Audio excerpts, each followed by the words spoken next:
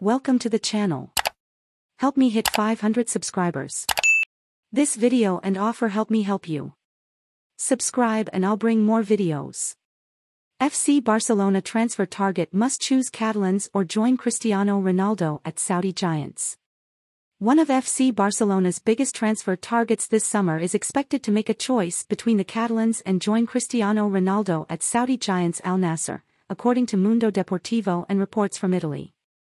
Marcelo Brozovic is coming off one of his strongest seasons in Europe's elite, helping his club Inter Milan to finish runners-up to Manchester City in the Champions League and his country Croatia to second place in the Liga of Nations won by Barca star Gavi, Spain, last weekend. In recent days there have been a rise in reports that Brozovic could join Gavi and restmate Pedri at Camp Nou this summer. Rumors have swirled since January that Brozovic could be included as part of a swap deal with Franck Kessie, but it has been difficult for Barca and Inter to agree on the possible transfer.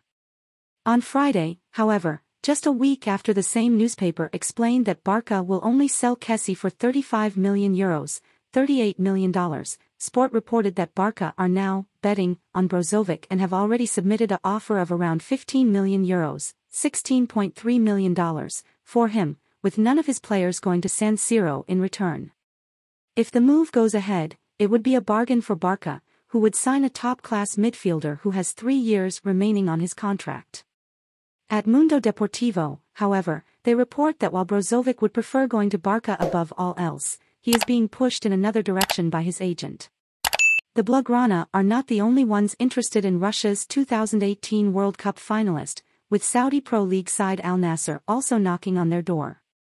As was known during the failed search for Lionel Messi, wanted by Al Hilal, Barca cannot compete when it comes to the salaries that clubs in the Middle Eastern country can offer.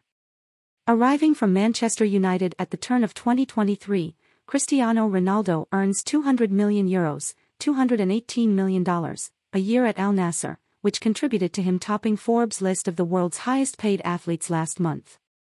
It's safe to say Brozovic won't get anything close to that, but the proposal, and the commission his agent will be in line to collect, should still beat Barca's cash-strapped package by some distance. Hope you enjoyed the video. What did you think of the video? Subscribe to the channel and leave your opinion in the comments.